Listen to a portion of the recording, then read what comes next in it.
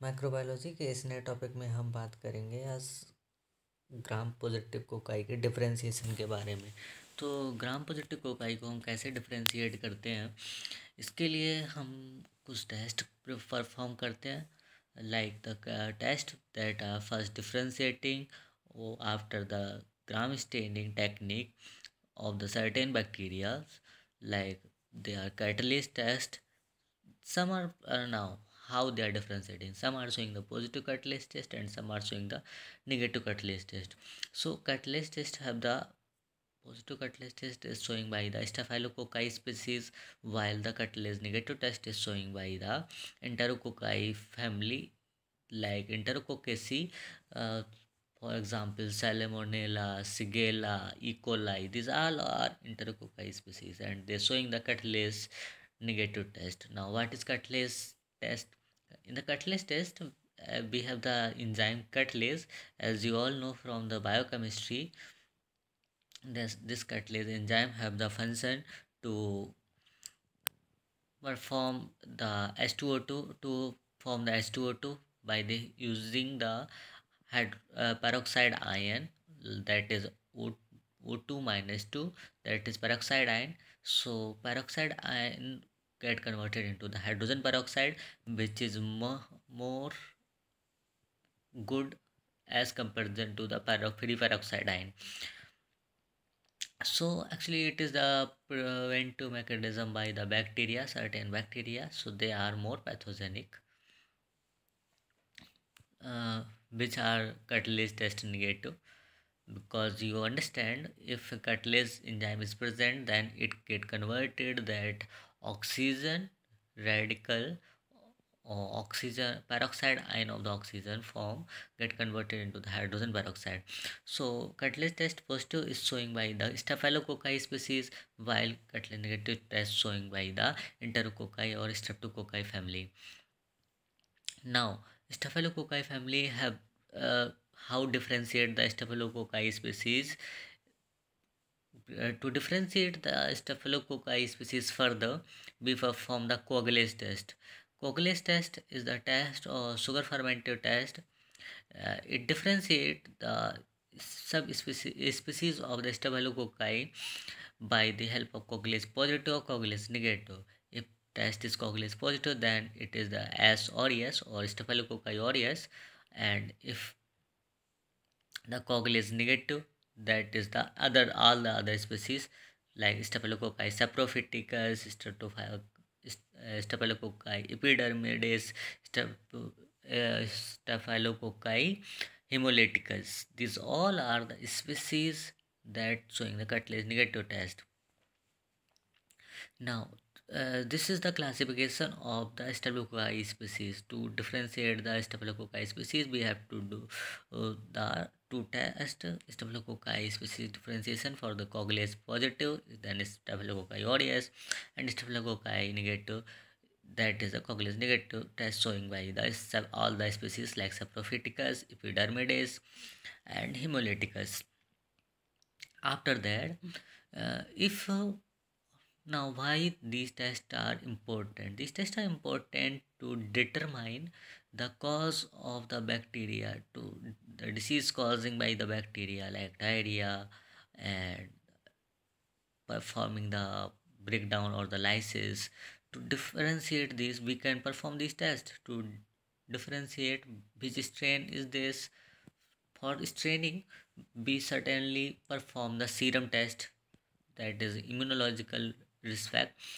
In the immunological prospect, we perform the serological tests like the ELISA, cytological testing, immunophenotyping. These are the tests that is uh, catalase beside the catalase. Now, to differentiate further the difference between the saprophyticus, Staphylococcus saprophyticus and Staphylococcus epidermidis. Mainly, these species cause the disease in the normal human beings in the skin or the subcutaneous tissue normally these species are non-pathogenic but when they get converted into the pathogenic they get converted into the pathogenic when they have no further antibacterial activity. So after this antibacterial activity, these uh, uh, if these antibacteria that are suppressing these bacteria are not present, then these species can cause the disease like dermatitis, all the type of the ulcers present on the skin, or whenever the skin get deruptured or due to the burn, certain injury. That's why this can cause the disease. To differentiate between between these two species, we again perform the test that is novoviocin test or bacitracin test. These are the both antibiotic that can be used to differentiate these two species if now remember the pattern of novoviocin. Novoviocin positive is shown by the Staphylococcus saprophyticus while novoviocin negative shown by the Staphylococcus epidermidis. Now if bacitracin bacitracin is opposite to the novoviocin. Bacitracin negative test showing by the saprophyticus while positive showing by the epidermidis. So remember one and do opposite to the other. If you remember novoviocin then you can remember NS normal saline solution like novoviocin showing the saprophyticus species positive while negative for the epidermidis while bacitracin showing the saprophyticus negative and epidermidis positive. Now coming on the diff, uh, further different uh, in the enterococci family that are the hemolysis, how hemolysis are formed in the Enterococci family. There are the mainly three type of the toxins that are released by the Enterococci family. These all are the gram-negative bacilli. These toxins, toxins are alpha, beta and gamma. Alpha hemolysis toxin, beta hemolysis and gamma hemolysis. These toxins cause the hemolysis. These are the exotoxins mainly. So in the case of the alpha toxin now what is alpha? Before determining and defining the toxins we want to define hemolysis. In the alpha hemolysis the degradation of the rbc cells degradation of rbc cells is partial means about half of the rbc cells get partial uh, degraded when we put the RBC cells with the microorganism in the petri dish. So these tox these toxins are released by this microorganism present in the petri dish and break down the RBC partially, not completely. While in the beta hemolysis, it perform the complete hemolysis. It perform the complete hemolysis.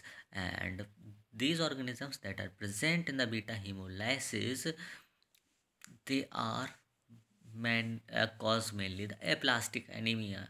Due to these toxins that cause the aplastic anemia while gamma enterococci species these gamma enterococci species they don't perform the hemolysis or minimal hemolysis occur. So there is no hemolysis can be visualized in the petri dish where the gamma toxins is released by the or the gamma hemolysis process occurring. So in the alpha hemolysis we are dividing this into the further subtypes alpha hemolysis resistant and alpha hemolysis sensitive. So the alpha hemolysis sensitive species is streptococci pneumoniae which cause the pneumonia and the now there are the lot of the species that cause the pneumonia. And to differentiate which species cause the pneumonia, particular type of pneumonia, the first class, first uh, variety or the criteria criteria to differentiate the by the clinic clinical aspect is the streptococci pneumoniae cause the pneumonia in the 6 to 12 hours or some books prefer 6 to 9 hours while the other streptococcus pneumoniae may be caused by the E. coli species, may be caused by the Staphylococcus species. There are the different names of these pneumonia and due to the period of the time interval that can cause the pneumonia, we can differentiate previous than the cytological history of these diseases, right? So resistance. So oftochin resistance. Oftochin is the chemical present in the bile sensitive so if they are resistance of the alpha hemolysis then the species are viridans streptococcus viridans and the some enterococci family like shigella and salmonella. Shigella and salmonella streptococcus viridans they are resistant to alpha hemolysis. If they are resistant to alpha hemolysis means there is no hemolysis they don't perform hemolysis while alpha streptococcus pneumoniae is sensitive to the alpha hemolysis. While beta hemolysis coming on the beta hemolysis they are as galactae resistant and streptococcus pyogenes sensitive streptococcus pyogenes is sensitive while streptococcus agalactiae is positive or the resistant to the beta hemolysis. So agalactiae not cause the beta hemolysis while streptococcus pyogenes cause the beta hemolysis by the help of the antibiotic bacitracin now the another gamma hemolysis mainly performed by the all the enterococci mainly performed by the all enterococci showing the gamma hemolysis. So right after that you can see the pattern that there is the alpha hemolysis. You can visualize this is the petri dish in which the all the rbc cells present and only a small amount of the alpha hemolysis is present here. You can see that in the ppt while beta hemolysis is the large amount of the rbc performing while gamma hemolysis is the smallest one. You can see that it is in the blood agar blood agar petri dish you can visualize that hemolysis pattern. Now coming on the further about the particular genus staphylococci genus the genus is the Staphylococcus, while species is the Staphylococcus aureus. We already so that it is catalase positive, it is coagulase positive, and coagulase positive. So now distinguishing feature of the Staphylococci species Staphylococci aureus is it is very small as Staphylococcus it is cocci bacteria as name suggests and have the branch branch cocci or the grape-like shape pattern.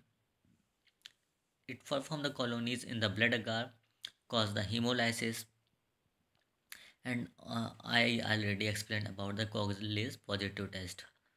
While this is the only Staphylococci or uh, yes is the only species that shows the coagulase positive while other are coagulase negative.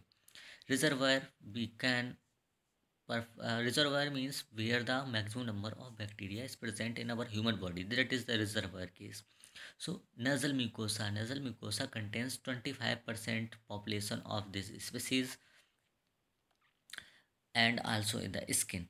Now how they are transmitted transmission is the most common way to know how the disease get spreaded and how if it is infectious or not infectious. So it can be transmitted by hands you can understand because they are present in the skin so they can be transmitted by hand. Also can be transmitted by the sneezing because they are present in the nasal mucosa. Surgical wounds it is the common community acquired infection that caused by the staphylococcus aureus after the surgery. If you are not performing the proper surgery then it is the common community acquired infection that is called the surgical bone infection that is caused by staphylococcus aureus. Contaminated food like potato salad canned meats that have the nitrogen nitrogen is filled in these packets. Like as the if you got the packet that get uh, uh, it is it can cause the Staphylococcus aureus species. Mainly these foods cause the food poisoning by the Staphylococcus species. Now predisposing factors. What are the predisposing factors means? Predisposing factors means that the factors that can cause if they are not in their proper they are not performed in the proper manner for example surgery or wounds if you are not perform surgery or wounds in the proper way then it can cause the infection while tampons tampons that are used by the uh, woman in during the menstruation cycle these tampons can cause the infection in the vaginosis cer- cervicitis and the surgical packing suit like suturing. When you are performing the suturing and these sutures are not well sterilized so then ca- they can cause the infection. Severe neutropenia if the patient is neutropenic means the patient immunity is weak so they, this bacteria also can cause the infection. The severe neutropenic is less than the 500 picoliter.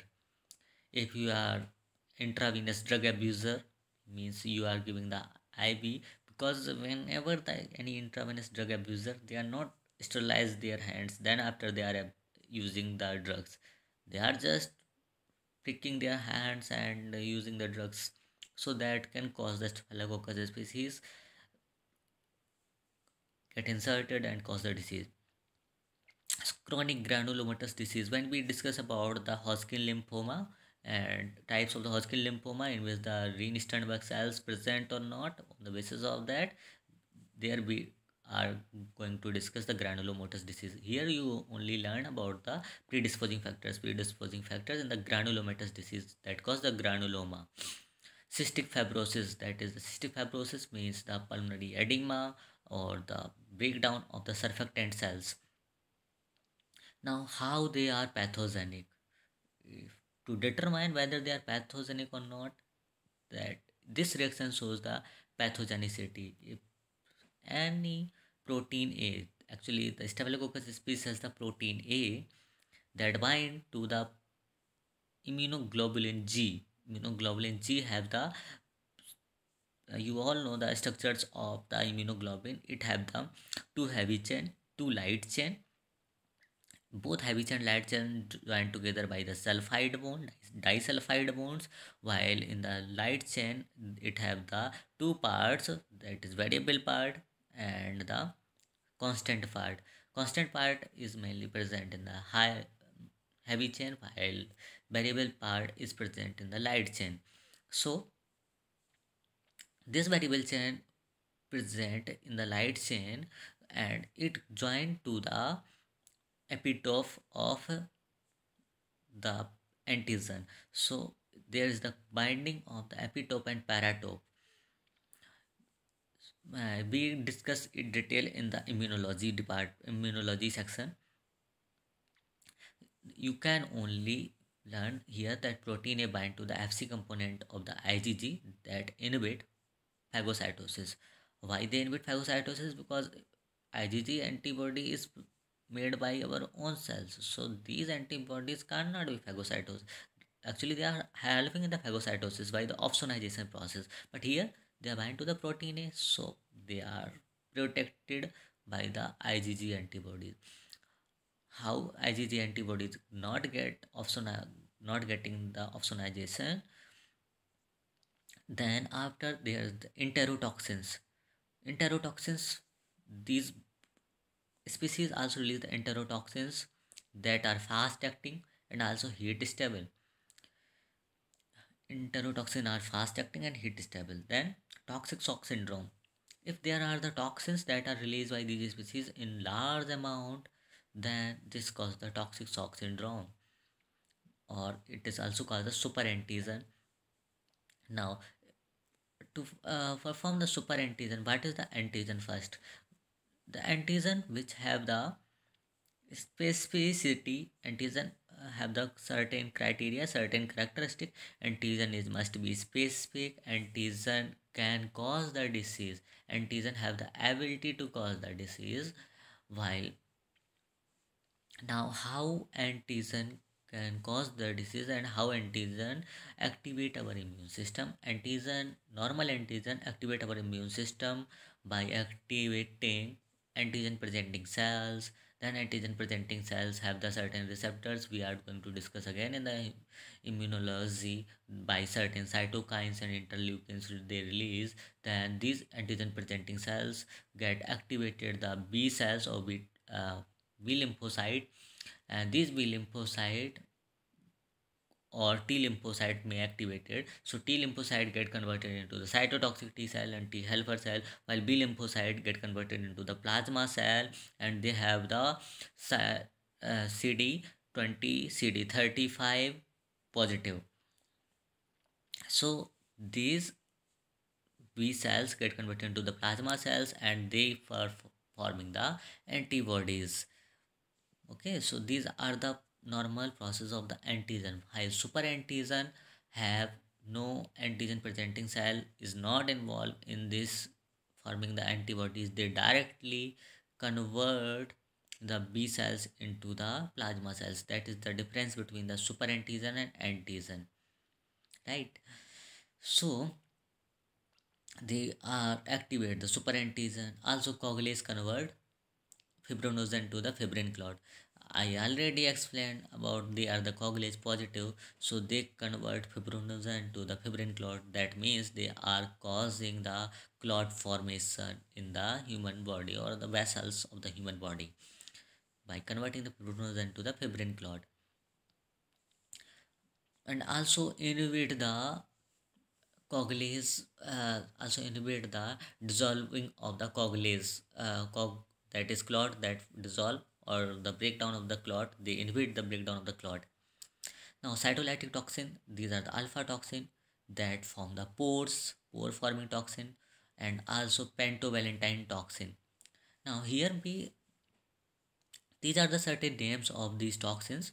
We are define that alpha hemotoxin beta hemotoxin gamma hemotoxin delta hemotoxin. You learned you remember the hemolysis process that i explained and by comparing that you can know and learn about these toxins also. So cytolytic toxin that can break down our, our own cells and pore forming toxins those pore forming toxins that form the perforins in our cells and also Panton-Valentine toxin. Panton-Valentine toxin when joined together by leukocidin then it is known as the spag spagnomimidine. The, you can remember the name spagnomimidine toxin. This is the toxin that is joined when joined by the Panton-Valentine toxin and leukocidin. Leukocidin is released by the leukocyte cells that form pores in the infected cells and is acquired by the bacteriophage.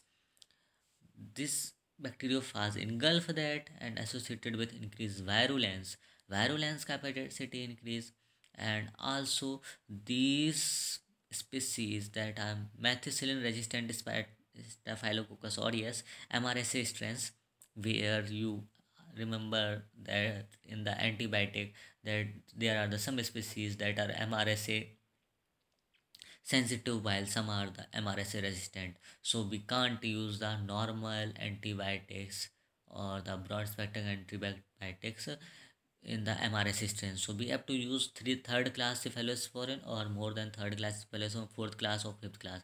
First class and second class cephalosporin, cephalosporins are not active against the MRSA strain or we can use the macrolides in this case. So skin exfoliating toxins. Here you can see that children have the exfoliating toxins that is called the bulbous bullous impetigo bullous impetigo the common characteristic. You can also see the histological slide of the bullous impetigo treatment. How we can manage the patient of staphylococcus species. So gastrointestinal gastroenteritis is self-limiting. How it is self-limiting because you all know that our intestine have the large number of the flora that are commensal showing the commensalism means they are helpful for our own body as well as they are helpful to themselves because our body is giving him the place to live while they are protecting us from the bacteria that are pathogenic. So we both are benefiting. So what are the drugs we are giving? Nafcillin and oxacin are the drugs of choice because of widespread penicillinase producing strain. These bacteria are producing the bacteria uh, beta lactamase or the penicillinase. These are the both synonyms beta lactamase and penicillinase. These producing strains that are MRSA strains mainly. So these are not sensitive to the normal penicillin. So we are giving the nafcillin and oxacillin or we can give the amoxicillin plus the certain inhibitor of the penicillinase or the beta lactamase these are clavulanic acid sulfobactam tazobactam. If you code any antibiotic by three these three any of these three clavulanic acid sulfobactam tazobactam you can kill this mrsa strain. Mupirocin are the topical treatment if you have the problem of the skin exfoliating toxins like the bulbous impetigo, you can use the topical treatment that is the mupirocin. For the methicillin resistant staphylococcus species, as I already explained, you can use the amoxicillin plus clavulanic acid, amoxicillin plus sulforbactam, amoxicillin plus tazobactam, or vancomycin. If bacteria is vancomycin resistant, then that means it is VRSA vancomycin resistant Staphylococcus aureus or VISA. So we are going to drug that are quinipristine and dalfopristine. Quinipristine and dalfopristine we are going to use for the vancomycin resistant species whether it is intermediate case or the general case. So it is all about the Staphylococcus aureus species. You can make the notes of this. Then there are the clinical symptoms, diseases and pathogenicity about the diseases caused by the Staphylococcus aureus. So as I already explained about the gastrointestinitis, it is the self-limiting. How gastrointestinitis, as I as I told previously that it can be spread due to the canned food or the oily food that can cause the gastroenteritis. So how it cause the clinical symptoms of these patients are this cause the food poisoning in the 2 to 6 hours. This food poisoning cause the nausea, cause the abdominal pain. Abdominal pain is caused because the muscles get contracted because due to these toxins get released and inhibit the our parasympathetic nervous system uh, in the synaptic cleft synaptic cleft so that's why this uh, going give the muscle severe contractility. So that cause the pain abdominal pain vomiting also and followed by the diarrhea. If the severe case is there then diarrhea may occur. That's why there are a lot of species that can cause the diarrhea. About 4 billion cases in the whole world. The total population of the whole world is about 7.5 billion. While it can cause the diarrhea, 7. Uh, about 4 billion people are infected from the diarrhea because most of the when we are giving the chemotherapy of any anti-cancer drug, it can cause the diarrhea. In the same manner, when we are giving any antibiotic that is a patient is sensitive to that antibiotic that means that can cause the diarrhea. And again there are the lot of the pathogens that can cause the diarrhea either by the releasing of the toxins or the different form. So how pathogenicity pathogenicity occurred by the enterotoxin. By the active enterocarditis endocarditis it is the common cause of the endocarditis most common cause of endocarditis. Uh, if we are giving more specific form that is the right endocarditis now, why it is right endocarditis? Because right endocarditis means right atrium using the venous blood. So, venous blood have when get absorbed when food get absorbed by the intestine in the glucose and these toxins are get also absorbed in the blood. So, they first came into the right side of the heart. So, they cause the right endocarditis mainly. What are the clinical symptoms in that case? These are the fever, leukocytosis, murmuring of the heart because it can affect the wall how it can affect the wall by the denaturing of the collagen synthesis in this wall and protein synthesis of the valves However, this uh, murmuring is uh, late stage, not the first stage. First stage, we can see the patient have the fever, leukocytosis. Coming on the uh, pathogenicity, it causes the fibrin plate mass because fibrinogen is converted into the fibrin. Remember the coagulase enzyme. It can cause the mastitis that is caused due to the subcutaneous tenderness, redness, and swelling. Mast Mastitis means mast cells are inflammatory. Mast cells that are produced by the basophil cells. So pathogenicity is occurred due to the coagulase and cytolysins. Toxic shock syndrome. Toxic shock syndrome, the most common symptoms are fever, hypotension. Fever, hypotension means blood pressure is not uh, very low. And scarlatiniform rash that discontinues partly on the palm and soles. Mainly thick skin is involved. Mainly thick skin is involved in that toxic shock syndrome. That is the common characteristic cause or symptoms of this toxic shock syndrome coming on the impetigo impetigo you are i already describe and show the slide of the histological slide as well as the real slides. That is erythromatous that is the pathogenicity factor is again the coagulase enzyme and the exfoliatins scalded skin syndrome or it is also known as the triple s syndrome. It is the diffuse epidermal peeling. Epidermal peeling you remember you people whenever sometimes call that uh, the peeling occurs in the face. So it is mainly due to the staphylococcus aureus species and again the toxins are same. Pathogenicity is same. So again now the most commonly occurred disease is pneumonia. Pneumonia occurred in the staphylococcus species. It is due to the necrosis of the cells. Because our cells are dying by these Staphylococcus aureus species. So high fatality rate, nosocomial ventilating, cystic fibrosis has occurred also in the chronic granulomatous disease. These are the symptoms of the pneumonia. And what is the characteristic feature when you take the sputum? Mainly you if you are